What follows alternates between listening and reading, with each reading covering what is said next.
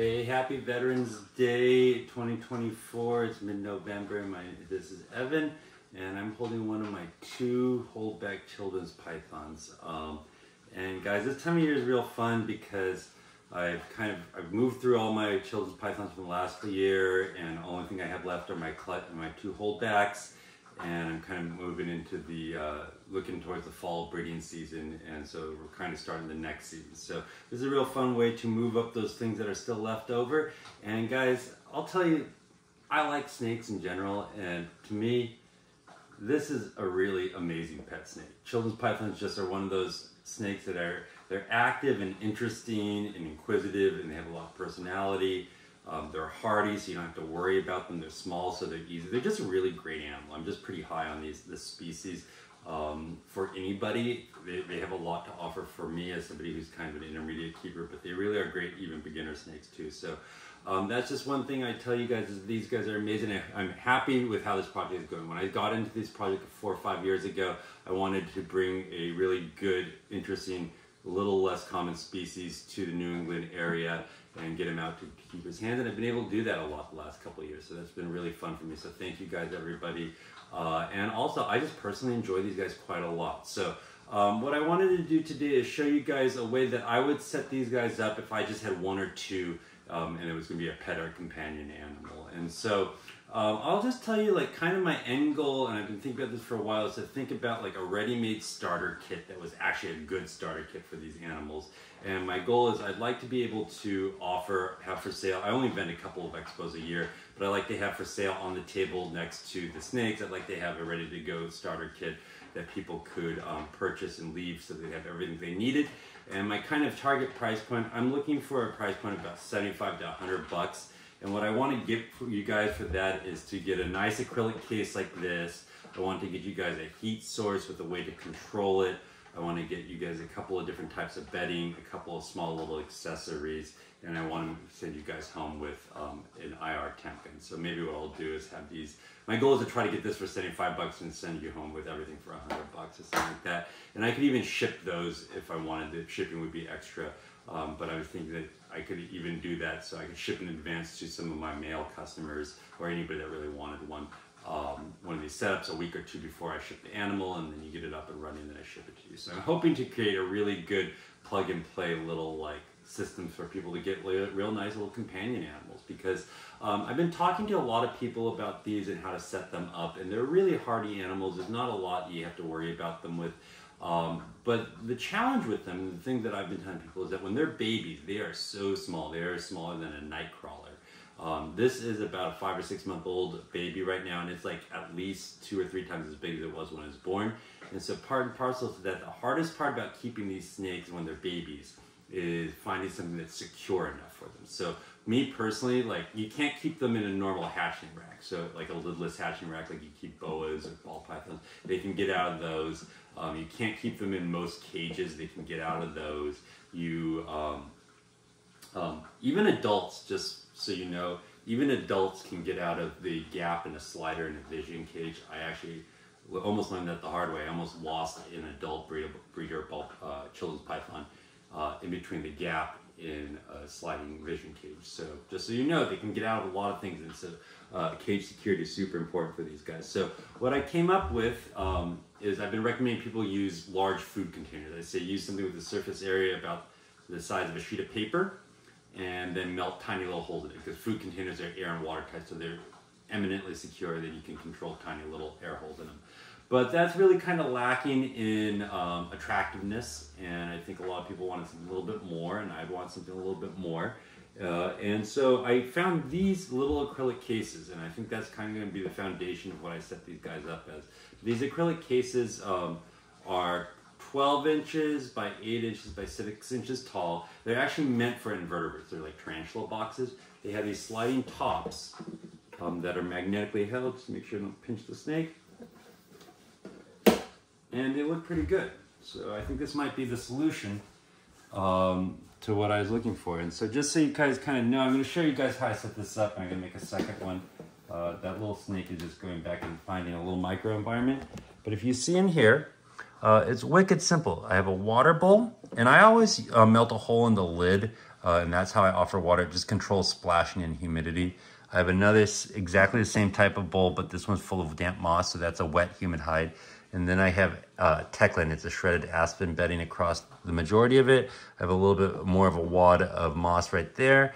And then I have some sticks from the garden. So um, that's how I have this accessorized. And the way I'm heating it is I'm holding it inside of a very large rack just because that's what I have. So um, let me show you what I've got going on. Let me just put this back.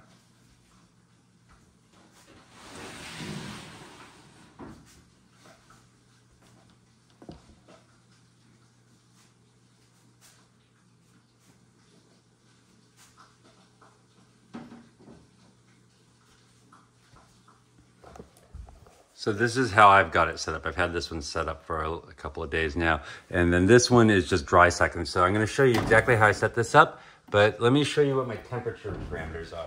And so what I've been telling people is when you set up your cage, you wanna set it up so that you get a, there's a hot mat over a quarter of the cage that is between 88 and 92. And then you want your front to be ambient temperatures. So that's 81. So there's it goes from 81 to 91 on that, and this is at the high warmest part of the day. It's actually pretty warm in here today. It's like 78 degrees in my snake room, but that's kind of the temperature range. You can go a little bit cooler than that, but that's how I'm heating them. And let's go ahead and let's show how you might do that at home. Okay, and so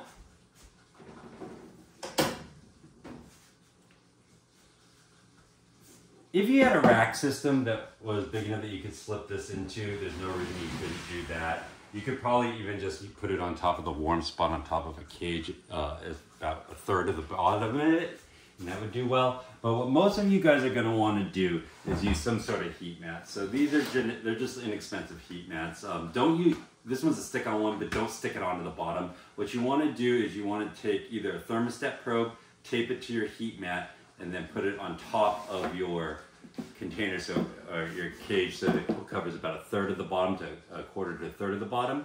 Or the other thing you could do is you could use a rheostatic dimmer, that's like a lamp dimmer, and you could control it and dial it in with your um, with your IR gun. And so basically, this is what you have to think if you're using a dimmer switch, is you have to say that um, wherever the dimmer is set, it raises, it, take the temperature on the heat mat and then take the temperature on the ambient surface next to it. The difference is how much that heat mat is raising it over ambient temperatures. So if you know this is 72 and you have something at 87, 88, it's raising it 15 degrees.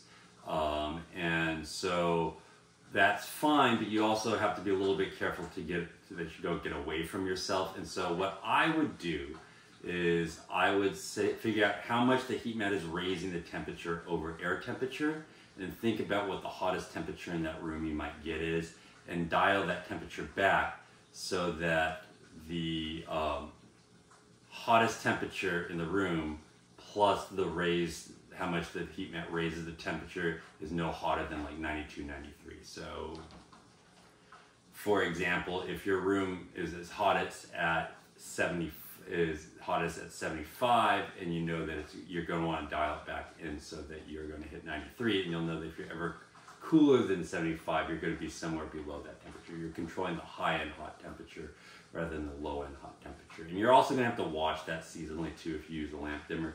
But the other thing i will tell you is that this species is pretty good about handling a wide range of temperatures and these cages are pretty good about ventilating so you're not going to have as many concerns with that type of stuff as you would if you had a really tight container and a more um, like a less tolerant species. So that's just what I'll tell you about setting your temperatures. Uh, but you could go ahead and invest in a thermostat for $35 as well. But let's talk about the container from there. All right, and the container, if you got this from, your, you, if you're buying something yourself, you probably want to find something similar to this. This is an arachnid container.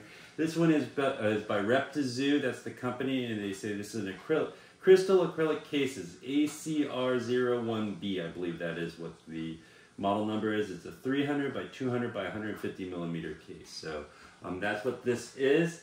Um, if you're looking about where to order them, you can order them at Reptile Deli. Um, Reptile Deli is a um, They are a dry goods vendor that vends a lot of the expos in New England, and they're just good guys. I don't. I bought these full price. I didn't get anything special from them, but you can buy this case from Reptile Deli. Um, I think it's forty dollars online. I got a little cheaper at the expos, but that's what I have for you, and that's what I would tell you. And the only thing I don't love about this case is, I'll just show you. It's actually a really beautiful, well-designed case, but they have this stupid little cup holder back here, and I'll just tell you, I'm not a huge fan of cup holders in my cages in general because I think they're a limitation. But the other thing I will tell you is if you're going to put a cup holder in the damn cage, put it at the front of the cage because heat's always on the back. If you put your water over the heat, you create tons of condensation. So I wish this wasn't here at all, but if it was here, it should be right up there. Um, so it's just kind of I don't know. That's the only thing I don't like about this cage. But the other thing I will tell you is I tried to remove it on the last one, but I think acrylic's like PVC and that they like chemically bond it. I'm pretty sure I'd destroy the cage if I tried. So we're just going to deal with it and I'll show you how I'm kind of going about this. So let's see my tripod. Here we go.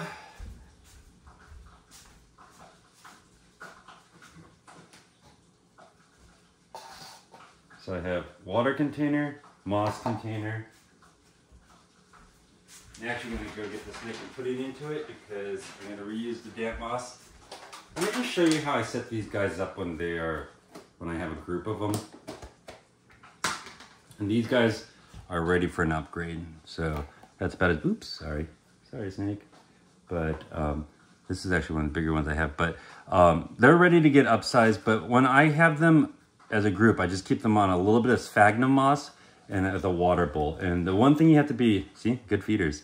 Um, but the one thing you have to be careful of with them is to control the dampness on that sphagnum moss. I like sphagnum moss in these small containers because it absorbs moisture, it mediates moisture, um, but I don't wet it. That's one thing I tell people is be careful. These are not wet animals. They don't appreciate being wet, but that's just how I keep them. But we're going from here, we're up caging them into this. It's something about twice as big. It's gonna be a little more complex. And so now that they're fully established, now that I have fewer of them, um, I will tell you that that extra enhanced cage is a good thing. But when you're starting to get them, trying to get them started feeding, it's good to have just something real basic so you don't have to move things around and startle them before you try feeding them. But here we go. So that's just kind of what I have. The first thing I'm going to do, I'm going to use this because he is a hungry bugger, is I'm going to take some of this moss. This is fresh moss. I replaced it last week and put it into that little cup just to fill that hole and also create another micro environment. Watch me get food wrapped right here by this little spunky one because that's what he wants to do. But, and then the other thing I'm gonna do is, ooh, he just tried to bite me. Little bugger.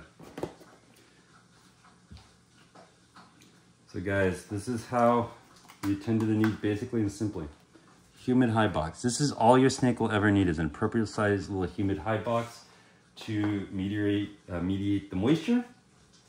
Beyond that, I'm using something called Teclin bedding. Teclin bedding is my favorite Aspen product. It's kind of hard to get, but it's a shredded consistency. So it's not shavings and it's not sandy chips. I hate sandy chips. They're just messy. There's nothing wrong with them. I just they're messy. Uh, but what I like about these is they're not as messy. Uh, and they kind of pack down and mat down.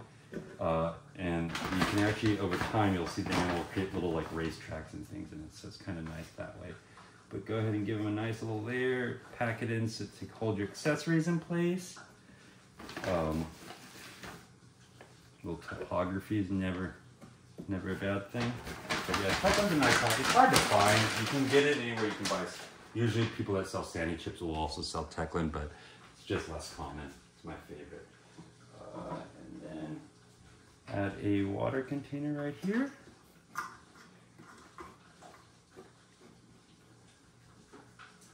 And then some climbing structure. This in right like that. And cut this like this. These are just safe hardwoods from my property, so I know they haven't sprayed or anything. You could use grapevine or something else. But that's about that. And then beyond that, um, just make sure you have the proper heat covering about a third of the bottom of the cage, uh, somewhere between 88 and 92. And it's time to add the animals.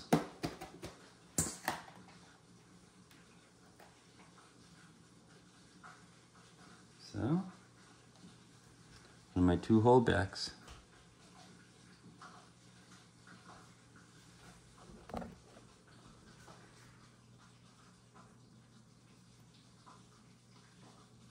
And then when you want to go secure it, oh, I have, whoop. Oh, do you see the SoFood reactor right now? And then it latches back in there. So that's what this is like, guys. And this is rehouse, and this will deal with it. Uh, be good for it until it's ready to go in a full-size cage. So this is going to be good for another six, eight months at least. And um, guys, comment if you think that that's actually a good idea. If you like would like me to create little uh, to-go kits that you could either buy at an expo or get mailed to you for an additional cost. Let me know if that's something you good idea because it would take some effort, but I actually want to do it. So um, I just probably need some encouragement. But there you go. This is how I'd be setting them up, and then I'd be putting them, in, and I'm gonna be putting them in the heat rack, um, or you could put them on a little heat mat. So there you go. Hope that's of help to you. Bye bye.